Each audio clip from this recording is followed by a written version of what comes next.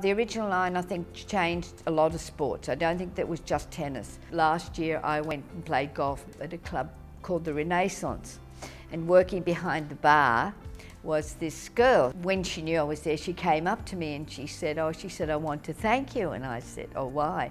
And she said, I would never have been a professional soccer player. She said, if it hadn't been for you all, with the original nine, getting um, the Title Nine, having equality, she said, I was able to go to the university and then she said I was able to get my skills up for soccer and then she said I went on from there to make a living with professional soccer. So that was wonderful. I'd never met anybody who we'd benefited from it.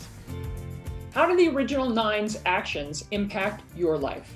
Share your story on tennisfame.com slash O9inspired or post on social media with the hashtag O9inspired.